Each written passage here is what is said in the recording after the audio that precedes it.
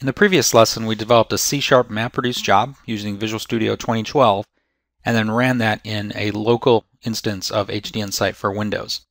In this lesson, we're going to take the same job and adapt it to run in the cloud using HDInsight on Windows Azure. For the most part, the job is going to be the same. What's going to be different is where the data resides and how we interact with the Azure environment, as well as how HDInsight interacts with the Azure Blob Storage.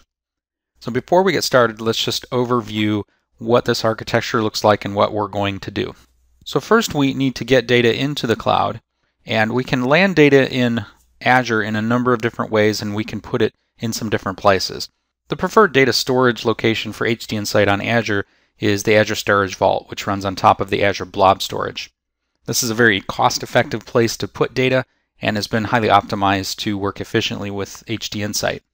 There are a number of ways to get this data into the cloud. Maybe it's already there or maybe it's on premises with us and we need to upload it. In this case, I'm going to upload data first using Cloud Explorer in my case. I, I could use AZ Copy, which is a command line tool, or I could use C Sharp or any number of, of different uh, clients that you could use. You can pick whichever one works for you. I like Cloud Explorer because it has a nice GUI and reminds me of just using Windows Explorer on my desktop. So for this kind of operation, I really like it. So the first thing I'm going to do is copy these files into the cloud, and I've already done that, and I'll show that to you here. So if I look at Cloud Explorer, and you can see kind of my Cloud Explorer looks like the diagram I have on the right here. If I look in the social media container, I have an input folder, and you can see those two files are already landed out there. Each of them is about 20 megabytes. Uh, this is a pretty small job, just so that it runs pretty quickly during the course of this short video. So we'll copy that data out there and that will be sitting in Azure Blob Storage. The second step is to develop our MapReduce code in C Sharp. So we already have our MapReduce code and we're just going to make some changes to point it toward the HDInsight on Azure. And when we press the Run button this time, Visual Studio will actually run the application and the application is going to upload that job into the HDInsight on Windows Azure instance. So you notice none of the data that we have copied into Azure is actually on the HDInsight VMs themselves. All of our data is in the Azure Blob storage. And, and that's one of the advantages of running this in the cloud that we can build up our HDInsight cluster and tear it down and it doesn't affect our data storage at all. There's a previous video that shows how to set that up and there a link will be in the notes below this uh, video.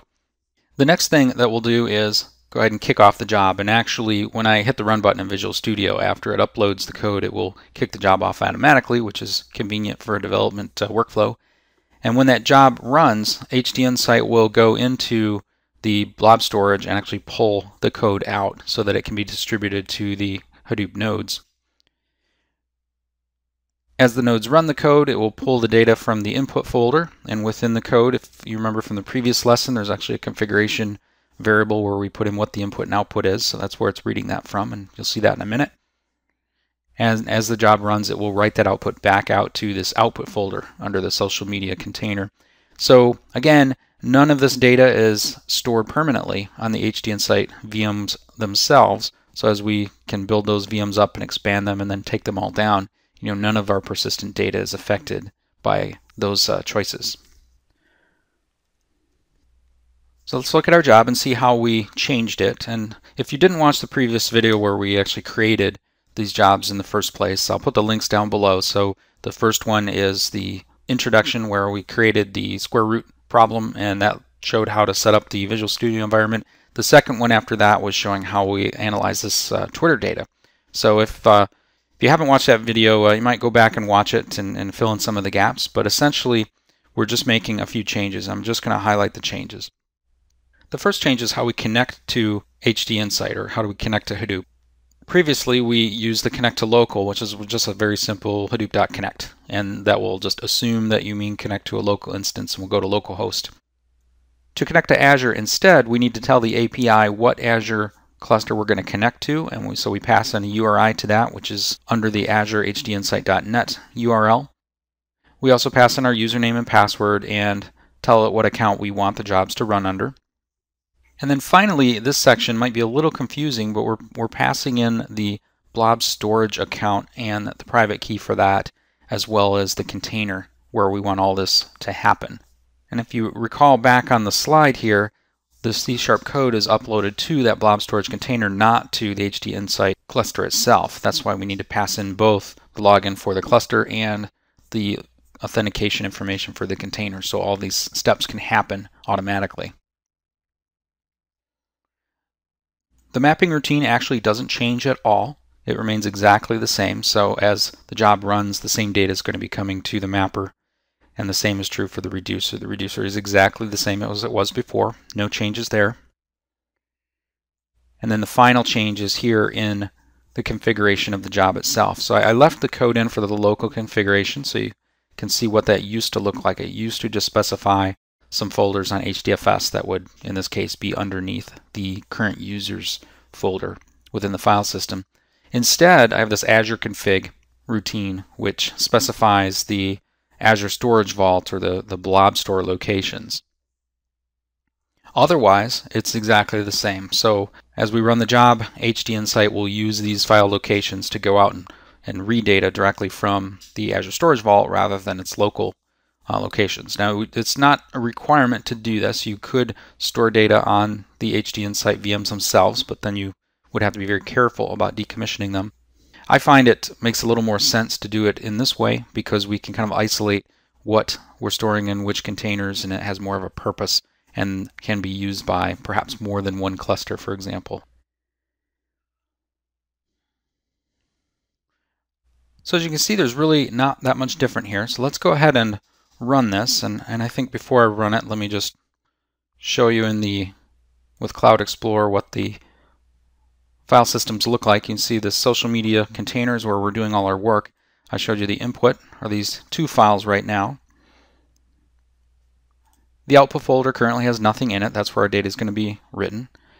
And then this user folder exists right now because I have run some jobs in this same folder before, but when I run the job again, it will go ahead and upload these files and then run them and pull data from the input, write it to the output, and then we can look at it from there. So let's go ahead and run it. I'll just click the start button. And what you see on the screen will look pretty much the same as what you saw when in the last lesson when we did this against a local instance. The difference you will probably notice is it's it's a bit slower because it has to upload the data through the cloud into the Azure environment first to run the job. But other than that, it should look and feel just about the same. And now the job is finished and the window disappears. That was about 45 seconds, 50 seconds for the job to upload the code onto the Azure Blob Store and then kick off and complete running the job up on HD Insight for Azure. So I can do a couple things just to make sure this really worked. The first thing I'll do is to take a look at the file system and see whether my output data is there now. And it is. So I have the little success flag. And then I have this part 000 file. It's a very small file because we're just counting some keywords in a, in, in a small data set. I'm going to double click on that and open that in my text editor so I can look at what the result was. The output is what I expected. I have the list of all the hashtags that were seen in the two files that had all the tweets as well as the number of occurrences of each hashtag.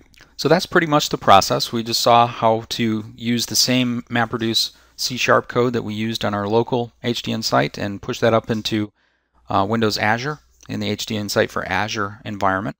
And again, and just to review, you know, we, we put our data into the blob storage. We put our code into the blob storage, which Visual Studio will do as part of the debug process if you want it to. And then as the HD Insight cluster runs, it pulls in the code and the input data from Blob Store and writes back out to Blob Store as well.